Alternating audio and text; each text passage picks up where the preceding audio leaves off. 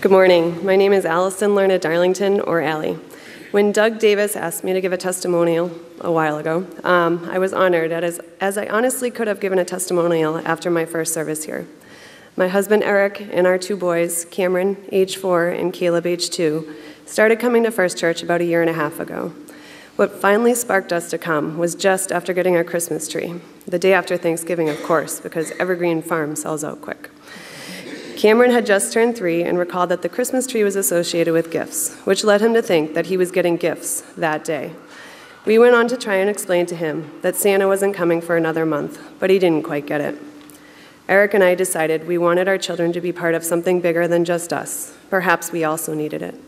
We didn't want our kids to grow up not knowing that there was a lot more to holidays than presents and Easter egg hunts. So a couple weeks later, we came to First Church. I was raised Catholic, as I've come to learn many of you were too. I made it all the way through confirmation. However, I was what Robin, Robin calls a questioning believer of the Catholic Church. I have a deep respect for all religions, but I knew Catholicism was not for me. I questioned why only males could lead the church when I was raised by my parents believing I could be anything I wanted to be, and I didn't need to rely on a male to do it. No offense, Eric. My parents got divorced, and I felt as if we were not as welcome as those that came from whole families. My mother is an immigrant from Ireland and taught me that racism was not acceptable, and I never questioned it. That extended to everything from color of skin to sexual preference, and I just felt the Catholic Church had different beliefs than I did. I couldn't see myself going back and raising my children in a church I didn't feel comfortable in. Then I came to First Church. My actual first time was not while the great Pastor Robin was here. It was years before, at a good friend of mine's wedding. Some of you may know, married to the fire chief. Three young children at the time were about to be merged into this marriage, and they were more than welcome in the church. They were even included in the ceremony. As part of the wedding vows, they were asked to accept their parents' new partner. Good thing they did, but it was amazing. That is when I knew First Church had beliefs similar to my own. I heard about the First Church more and more as I began to raise my own family. An advertisement in the Meeting House News, perhaps. It was of Robin, Andy, and the kids. Isaac had a bottle in his mouth, I believe, and they were just laughing in the picture. I wasn't sure if it was Andy or Robin that was the pastor, but I just looked at them and was like, hey, they look human. and come to find out, they are. I checked out the website, saw Pub Theology, which I have yet to go to, but totally bragged to my friends about my church having gatherings where alcohol is an option.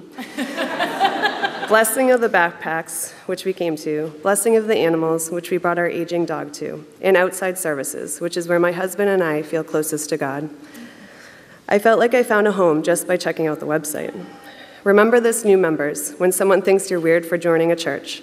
After listening to one of Robin's past sermons, I must defend this church from being called weird. We are not weird. Those who do not have what we have are missing out.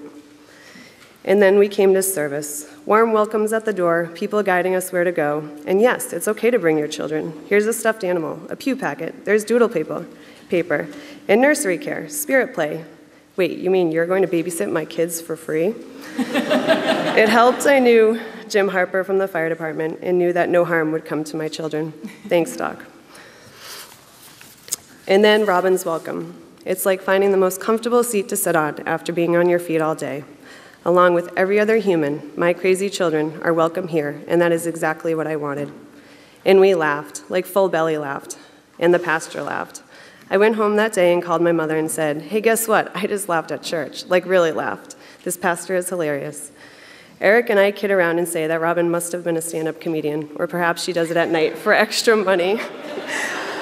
but she's hilarious, and I thank her for that. but then it became about me. I was a glass half empty type of person. From my job in the medical field, where pediatric rotations exposed me to abused or sick children, I couldn't exist. I couldn't breathe. I gave up my dream to work in pediatrics to seeing my own family sick and losing loved ones too soon, to being unable to watch the news because of the stories of child, pet, elder abuse, the terror attacks, uh, people being murdered. I always question, sometimes still do, where is the good? First Church members and Pastor Robin have helped me to be able to find it, to see it, to search for it. It may not be here every Sunday, but I listen to the sermons every week. Thank you, Linda Davis. I even rejoined Facebook just so I can follow the First Church website. I used to listen to the sermons while getting ready for work in the morning, but would ruin my makeup, as I have more than once broken down in tears. So then I tried listening during my morning commute. Figured I wouldn't cry as much if I was driving. But then there was the sermon on a racist event against one of our members that made me want to drive someone off the road. I was so infuriated. So now, folding laundry. Laundry can take my emotions just fine. I feel that I now have more tools to see that the glass is actually full to the top. The ability to see both sides, all sides for that matter and be here for one another, to be good, do good, and to just love one another. I thank you, First Church, for that, and I look forward to the future together.